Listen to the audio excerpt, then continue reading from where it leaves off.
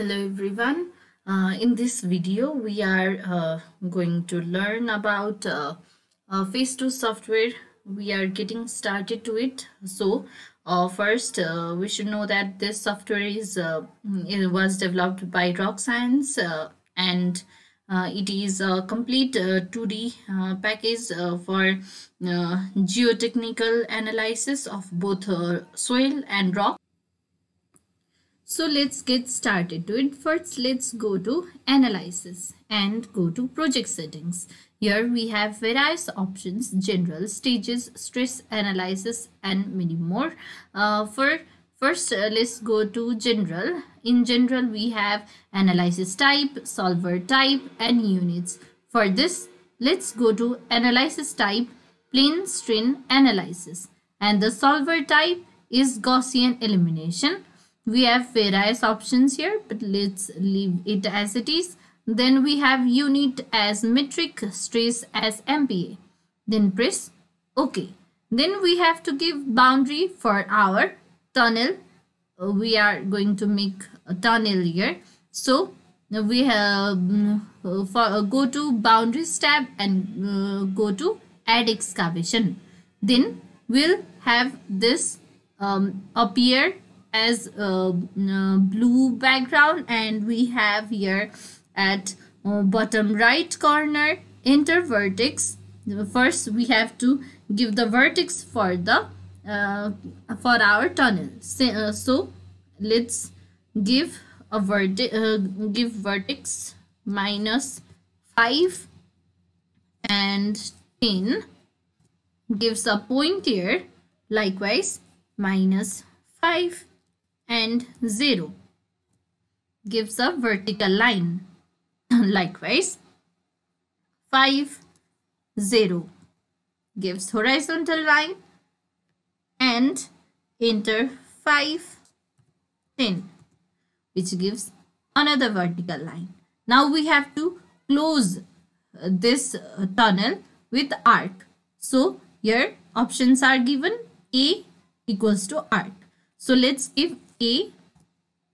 So let's enter three points arc.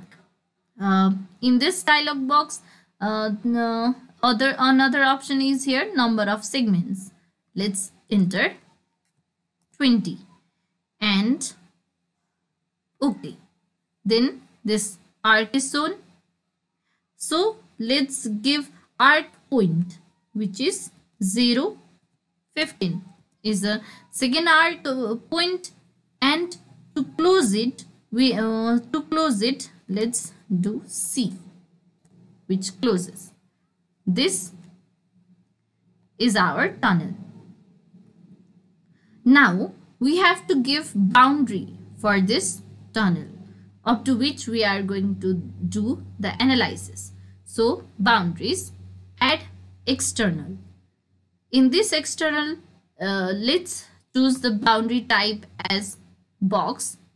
And the ex ex expansion factor let's leave as it is as 3 so it gave the external boundary. Now we have in uh, as this uh, phase 2 software follows a, a finite element method so we have to make mesh and discretize it so go to mesh and go to mesh setup. In this mesh setup, we have uh, graded, uniform, radial, non in, no internal uh, nodes. We have different options. So let's choose as graded. Element type uh, can be chosen uh, here as three noded triangle, six noded triangle and quadrilaterals as well. So let's choose three noded triangle here. And the gradation factor let's leave as it is. And the uh, number of uh, uh, number of nodes on all excavation can also be entered. So let's enter it as 60 then press ok here we can go to again go to the mesh setup and discretize it and uh, this dialog box discretizes the our tunnel. Then we have to use mesh. Then it does the meshing of the um, meshing of our boundary. Then press OK. Now we can see that here discretization is done and after the discretization now we are going to give the uh, field stresses. For this we are going to go to loading tab and go to field stress. For field stress we have we will use field stress type as constant and uh, we will uh, use um, uh, sigma 1 as 20 MPa, sigma 3 as 10 MPa, sigma z as 10 MPa and angle will be used as 30 degree from horizontal. Then press OK. Here the difference can be seen of the angle. Then we have to uh, uh, provide properties of rock mass. So we will go to properties tab and go to define material. To define material here let's enter it as rock mass. Then uh, the material color can be changed here. The default, let's leave it. And the in, uh, initial uh, element loading. Here different options are given. So let's uh, let's use field stress only for now. Then uh, we have Poisson's ratio. Let's use it as 0 0.2 Young's modulus is given let's leave as it is then the uh, strength parameters. First strength parameters um, failure criterion different criterias uh, different ways are given. Let's use Mohr-Coulomb. Then uh, tensile strength is used as 0 uh, friction angle is used as it is and cohesion let's enter it as 12 then the material type is used as elastic. Let's do okay now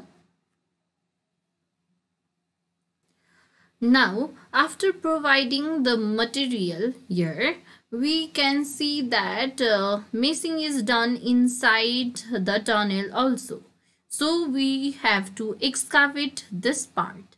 For this, let's go to properties and let's go to assign properties.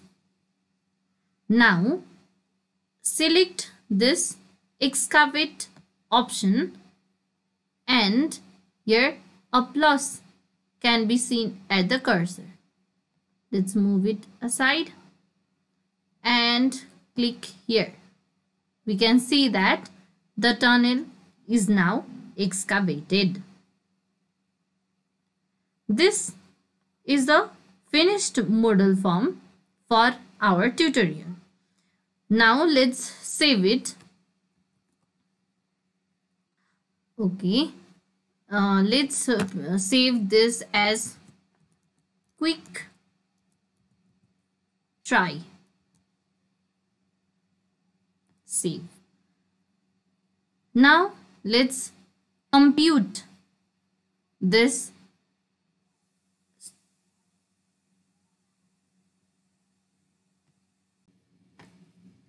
After saving the file, we need to analyze uh, this model. So uh, let's go to analysis and go to compute. This will replace the previous result. Continue. Yes. Now the computation is done. Likewise, computation can also be done using this icon here, compute. Again, yes, then computation is done again now to show the analyzed form we, we can go to analysis and go to interpret likewise go to interpret here directly now go to interpret this shows the by default phase 2 shows this principal stress measure principal stress sigma 1 here contour plot can be seen of this sigma 1 here the color variations and their respective values can be shown here can be seen here. And it can be seen that the highest concentration of stress is at corner. Now we can also view minor principal stress sigma 3 here. Likewise, we also can view total displacement of tunnel. Here we can see the displacement walls they have the highest values. Here we can also view how the deform view how the deformation is uh, how the deformation occurs in this tunnel. For this we can go to display deformation vectors. This icon this shows the deformation vectors. Likewise, the uh, display uh, deformed boundaries shows how the boundary is deformed due to the field stresses. Likewise, display deformation contours shows how deformation occurs along with its deformed values here. So this is for today's video. Thank you for watching.